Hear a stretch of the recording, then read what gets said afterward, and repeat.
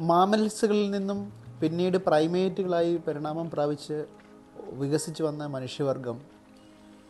അവൻ ആഫ്രിക്കയുടെ പുൽപ്രദേശങ്ങളിൽ നിന്നും ഏഷ്യയിലേക്കും ഏഷ്യയിൽ നിന്നും യൂറോപ്പിലേക്കും യൂറോപ്പിൽ നിന്നും അമേരിക്കയിലേക്കും അങ്ങനെ ലോകത്തിന്റെ എല്ലാ പ്രദേശങ്ങളിലേക്കും വികസിച്ച് വന്നെങ്കിലും അവനെ എപ്പോഴും അലട്ടിക്കൊണ്ടിരുന്ന ഒരു പ്രശ്നമാണ്. എങ്ങനെയാണ് ഈ ഭൂമിയും ഈ പ്രപഞ്ചവും ആകാശത്ത് കാണുന്ന നക്ഷത്രങ്ങളുമൊക്കെ വർക്ക് ചെയ്യുന്നത് എന്നുള്ളത്. പ്രപഞ്ചം എങ്ങനെ വർക്ക് ചെയ്യുന്നു എന്നുള്ള അന്വേഷണം അവനെ പല രീതിയിലുള്ള ചിന്തകളിലേക്കും കൊണ്ടെത്തിച്ചിട്ടുണ്ട്. അത് അവനുണ്ടാക്കിയ ഉപകരണങ്ങൾ പോലെ അവനുണ്ടാക്കിയ മറ്റ് വസ്തുക്കൾ പോലെ ആരെങ്കിലും സൃഷ്ടിച്ചതാവാം എന്നും അതല്ല ഇതിങ്ങനെ നിലനിൽക്കുന്നതാണ് എന്നും ഇതെങ്ങനെയാണ് പ്രവർത്തിക്കുന്നതെന്നുമുള്ള പല രീതിയിലുള്ള ചിന്തകൾ മനുഷ്യനെ ഈ കാലഘട്ടത്തും അലട്ടിക്കൊണ്ടിരിക്കുന്നു. ഏകദേശം രണ്ട് ലക്ഷത്തിലധികം വർഷം ആയി മനുഷ്യൻ ഇത്തരത്തിൽ പരിണാമം പ്രാപിച്ചു വന്നിട്ട്. മനുഷ്യൻ എന്ന ജീവിയുടെ ചിന്താഗതി അനുസരിച്ച് പല രീതിയിലുള്ള ഉത്തരങ്ങളും ഇന്ന് നമുക്ക് അവൈലബിൾ ആണ്. അതിൽ തന്നെ ശാസ്ത്രീയപരമായിട്ടുള്ള ഉത്തരങ്ങളും അവൈലബിൾ ആണ്. ശാസ്ത്രീയപരമായിട്ടുള്ള ഉത്തരങ്ങൾ പല സിദ്ധാന്തങ്ങളായി പ്രൂവിഡ് സിദ്ധാന്തങ്ങളായും ഹൈപ്പോത്തിസിസുകളായിട്ടും ഒക്കെ നിലനിൽക്കുന്നുണ്ട്. ഈ അന്വേഷണം മനുഷ്യനെ പ്രകാശം എങ്ങനെയാണ് വരുന്നത് എവിടെ നിന്നാണ് വരുന്നത് പ്രകാശത്തിന്റെ സ്രോതസ് എന്താണ് എങ്ങനെയാണ് ചെറിയ ചെറിയ നക്ഷത്രങ്ങളിൽ നിന്നും വലിയ നക്ഷത്രങ്ങളിൽ നിന്നുമൊക്കെ പ്രകാശം നമ്മളിലേക്ക് എത്തുന്നത് എന്നുള്ള അന്വേഷണങ്ങളിൽ വരെ എത്തിച്ചിട്ടുണ്ട്. മനുഷ്യന്റെ മനസ്സിൽ ഒരുപാട് ചോദ്യങ്ങളുണ്ടായിട്ടുണ്ട് എങ്ങനെയാണ് ഈ നക്ഷത്രങ്ങൾ ഉണ്ടാകുന്നത്? എങ്ങനെയാണ് ഈ ചന്ദ്രൻ പ്രകാശിക്കുന്നത്? എങ്ങനെയാണ് സൂര്യനിൽ നിന്നും പ്രകാശം നമ്മളിലേക്ക് എത്തുന്നത്? തുടങ്ങിയ പല ചോദ്യങ്ങൾ പല കാലഘട്ടങ്ങളിൽ മനുഷ്യ സമൂഹത്തിന്റെ ഇടയിൽ വികാസം പ്രാപിച്ചു വന്നിട്ടുണ്ട്. ഇതുതന്നെയാണ് ഇങ്ങനെ ചിന്തിക്കാനുള്ള കഴിവും ഇതിലേക്ക് ഇതിന്റെ ഒരു ഉത്തരം കണ്ടെത്താനുള്ള ശേഷിയുമാണ് മനുഷ്യനെ ഒരു സിവിലൈസ്ഡ് ജീവിവർഗമായി ഭൂമിയിൽ നിന്ന് മാറ്റിയിട്ടുള്ളത്.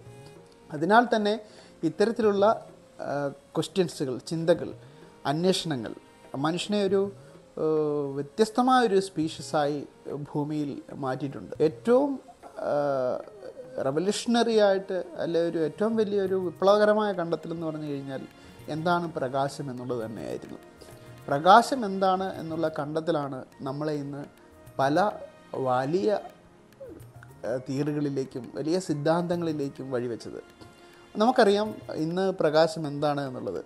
പ്രകാശം ചെറിയ ചെറിയ ഫോട്ടോൺസുകളുടെ ചെറിയ ചെറിയ പാക്കറ്റ് ഓഫ് എനർജീസുകളാണ് എന്നും അവ ഏതെങ്കിലും ഒരു പ്രതലത്തിൽ ചെന്ന് ഒരു മെറ്റാലിക് പ്രതലത്തിൽ ചെന്ന് പതിച്ചിട്ടുണ്ടെങ്കിൽ അതിൽ നിന്നും ഫോട്ടോൺസുകൾ ആ മെറ്റാലിക് പ്ലേറ്റിൽ നിന്നും ഇലക്ട്രോൺസുകൾ പുറത്തേക്ക് പോകുമെന്നും ഒക്കെ ഫോട്ടോ ഇലക്ട്രിക് ഇഫക്റ്റിനെ കുറിച്ച് മാസ് പ്ലാങ്ങിന്റെ തിയറിയിലൂടെയും അതിനെ ആൽബർട്ട് ഐൻസ്റ്റീൻ തന്റെ relay special relativity theory relativity theory ഉപയോഗിച്ചുകൊണ്ട് എക്സ്പ്ലനേഷൻ കൊടുത്തതിന്റെ ഫലമായിട്ട് മഹാനായ ശാസ്ത്രജ്ഞൻ ആൽബർട്ട് ഐൻസ്റ്റീന് നോബൽ പ്രൈസ് കിട്ടിയതും നമുക്കറിയാം. അതിന് ശേഷമാണ് മോഡേൺ ഫിസിക്സ് അല്ലെ മോഡേൺ ഭൗതികശാസ്ത്രം വികസിച്ച് വന്നത്. ക്ലാസിക്കൽ ഭൗതികശാസ്ത്രം ന്യൂട്ടന്റെയും ആൽബർട്ട് ഐൻസ്റ്റീന്റെയും ഒക്കെ ഒരു കാലഘട്ടത്തിൽ ഇങ്ങനെ വളർന്നു വന്നെങ്കിലും ആൽബർട്ട് ഐൻസ്റ്റീനും അതിനുശേഷമുള്ള കാലഘട്ടം ഒരു മോഡേൺ ഭൗതികശാസ്ത്ര മേഖലകളിലേക്കുള്ള ഒരു വലിയ കുതിച്ചുചാട്ടമായിരുന്നു. ആ അതിന് വഴിവെച്ചതാകട്ടെ നമ്മുടെ റിലേറ്റിവിറ്റി തിയറിയും സ്പെഷ്യൽ റിലേറ്റിവിറ്റി തിയറിയുമാണ്. പ്രകാശത്തെക്കുറിച്ചുള്ള പഠനങ്ങളായിട്ടുള്ള ഒപ്റ്റിക്സും അതുപോലെ തന്നെ ബലതന്ത്രത്തെക്കുറിച്ചുള്ള പഠനങ്ങളായിട്ടുള്ള ഡൈനാമിക്സ് ഫിസിക്സും ഇതിനെയൊക്കെ തന്നെ സംയോജിപ്പിച്ചുകൊണ്ട് ഈ ഒരു എനർജിയും മാസും ഒക്കെ തമ്മിലുള്ള റിലേഷനിലേക്ക് ആൽബർട്ട് ഐൻസ്റ്റീൻ എത്താൻ പറ്റിയതുകൊണ്ടാണ് നമ്മൾ അടുത്ത ലെവലിലേക്ക് ഒരു മനുഷ്യ സമൂഹം എന്നുള്ള നിലയിൽ ഭൗതിക ശാസ്ത്ര മേഖലകളിലും മറ്റ് ഇതര ശാസ്ത്ര മേഖലകളിൽ നമുക്ക് വികസിച്ചു വരാൻ പറ്റിയിട്ടുള്ളത്. ഇന്ന് നമുക്കറിയാം പ്രപഞ്ചത്തിന്റെ ഏറ്റവും പ്രധാനപ്പെട്ട ആശയവിനിമയ മാർഗം എന്നത് പ്രകാശത്തെക്കുറിച്ചുള്ള പഠനങ്ങൾ തന്നെയാണ്. അത് പല രീതിയിലുള്ള പ്രകാശം എന്ന് നമ്മൾ പറയുമ്പോൾ അത് പല രീതിയിലുള്ള ഒരു സ്പെക്ട്രം ഉണ്ട്. എക്സ്റേ ഗമ റൈസ് അതുപോലെ എല്ലാ പ്രകാശവും വിബ്ജിയോർ മാത്രമാണ് നമ്മുടെ കണ്ണുകൾ കൊണ്ട് കാണാൻ പറ്റുന്നതെങ്കിൽ ആ വിബ്ജിയോർ മാത്രമല്ല അതിന് വെളിയിൽ വലത്ത് വലത്തോട്ടും ഇടത്തോട്ടുമായി വളരെ വലിയ വിശാലമായ ഒരു സ്പെക്ട്രം നമുക്കുണ്ട് എന്ന് നമുക്കറിയാം. നമുക്ക് പഠിക്കുവാനും മനസ്സിലാക്കുവാനും കഴിയുന്ന മാത്തമാറ്റിക്കൽ ഇക്വേഷൻസും ടൂളുകളും ഉപയോഗിച്ചുകൊണ്ട് നമ്മൾ കണ്ടെത്തിയിട്ടുള്ള ഒരു ലോജിക്കൽ പ്രഡിക്ഷൻസുകൾ അല്ലെ ലോജിക്കൽ ഒരു ഏറ്റവും നല്ല ലോജിക്കൽ ലാംഗ്വേജ് അല്ലെ ഒരു പ്രപഞ്ചത്തെ വായിക്കുവാൻ നമ്മൾ മനസ്സിലാക്കേണ്ട ഏറ്റവും നല്ല ലാംഗ്വേജ് എന്നുള്ളത് മാത്തമാറ്റിക്സ് ആണ്. മാത്തമാറ്റിക്സ് ഉപയോഗിച്ചുകൊണ്ടാണ് നമുക്ക് പ്രപഞ്ചത്തെ നിർവചിക്കുവാനും പ്രപഞ്ചത്തെ മനസ്സിലാക്കുവാനും ഒക്കെ നമുക്ക് കഴിയുന്നത്. പ്രപഞ്ചത്തെ മനസ്സിലാക്കുവാനുള്ള അഡ്വാൻസ്ഡ് മാത്തമാറ്റിക്കൽ കാൽക്കുലേഷൻസും അഡ്വാൻസ്ഡ് മാത്തമാറ്റിക്കൽ സ്കിൽസും ഉപയോഗിച്ചുകൊണ്ടാണ് നമ്മൾ ഇന്ന് കാണുന്ന പ്രപഞ്ചത്തെയും സിദ്ധാന്തങ്ങളെയും ഒക്കെ നമ്മൾ ആവിഷ്കരിച്ചിട്ടുള്ളത്. അപ്പോൾ പ്രപഞ്ചത്തെ വായിക്കുവാൻ നമുക്ക് ഇൻഫർമേഷൻ കിട്ടുന്നത് പ്രകാശത്തിൽ നിന്നാണെങ്കിൽ അല്ലെ ലോജിക്കൽ ടൂൾ എന്നുള്ളത് മാത്തമാറ്റിക്കൽ ടൂൾ തന്നെയാണ്. അഡ്വാൻസ്ഡ് മാത്തമാറ്റിക്കൽ ടൂൾസ് തന്നെയാണ്.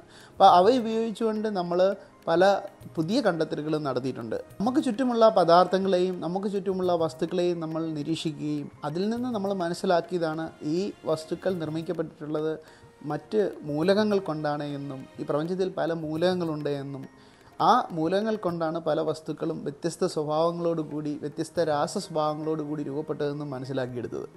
ഈ മൂലകങ്ങൾ തന്നെ വിവിധ രീതിയിലുള്ള ആറ്റങ്ങൾ കൊണ്ട് നിർമ്മിതമാണ് എന്നും ഈ ആറ്റങ്ങളിലൊക്കെ തന്നെ പ്രോട്ടോണും ന്യൂട്രോണും ഇലക്ട്രോണും ഉണ്ട് എന്നും നമ്മൾ മനസ്സിലാക്കിയിട്ടുണ്ട്.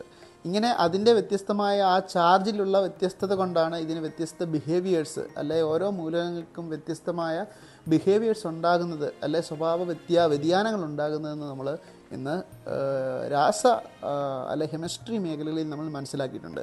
പിന്നീട് നമ്മളത് കൂടുതൽ ഡീറ്റെയിൽ ആയിട്ട് പഠിച്ചപ്പോഴാണ് മനസ്സിലാക്കിയത് ഈ ആറ്റങ്ങൾക്കുള്ളിൽ തന്നെ വളരെയധികം സബാറ്റോമിക് പാർട്ടിക്കിൾസുകൾ ഉണ്ട് എന്ന്. ഈ സബാറ്റോമിക് പാർട്ടികളെക്കുറിച്ചുള്ള പഠനങ്ങളാണ് നമ്മൾ ക്വാണ്ടം ഫിസിക്സ് എന്ന് പറയുന്ന അല്ലെങ്കിൽ ക്വാണ്ടം ഭൗതികശാസ്ത്ര മേഖലകളിലേക്ക് നമുക്ക് വെളിച്ചം വീശിയത്. അപ്പോൾ നമുക്ക് ഒരു ക്ലാസിക്കൽ ഫിസിക്സും മോഡേൺ ഫിസിക്സും ക്വാണ്ടം ഫിസിക്സും എന്ന് പറയുന്ന ഒരു മൂന്ന് ശാഖ തന്നെ രൂപപ്പെട്ടു വരികയാണ് ഉണ്ടായത്.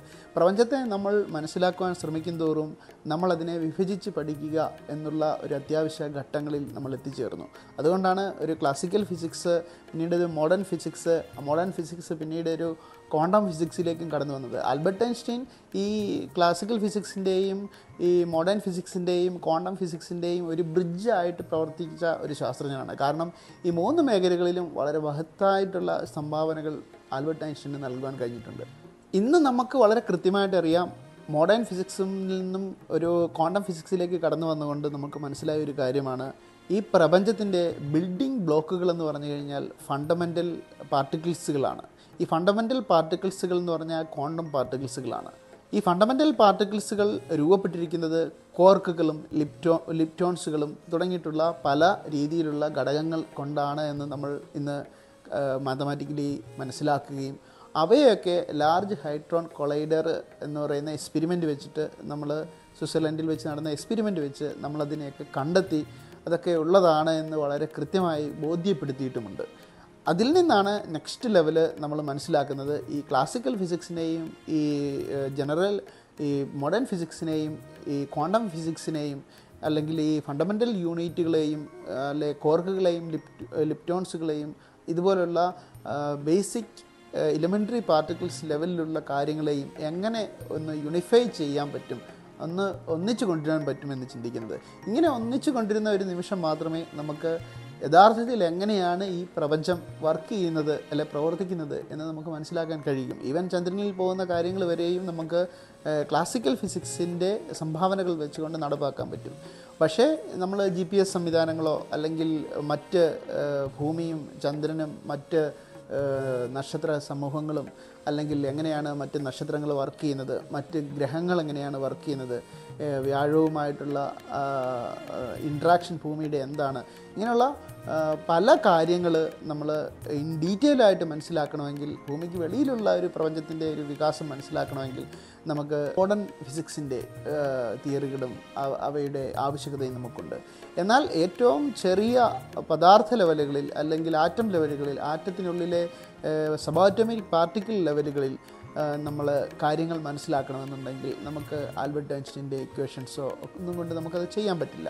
ഈ ഒരു സമയത്താണ് നമുക്ക് പുതിയൊരു തിയറിയുടെ ആവശ്യം വരുന്നത്. അതാണ് ക്വാണ്ടം ഫിസിക്സും ക്വാണ്ടം ഫീൽഡ് തിയറി എന്നുള്ള ഒരു പുതിയ തിയറി നമ്മുടെ മുന്നിലേക്ക് കടന്നു വരുന്നത്.